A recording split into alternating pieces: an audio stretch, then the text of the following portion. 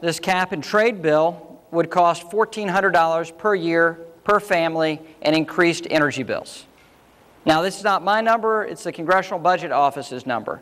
And that number originates from a Congressional Budget Office that's headed by a Democrat, and that Democrat was appointed by two Democrats. So certainly it's not a biased number,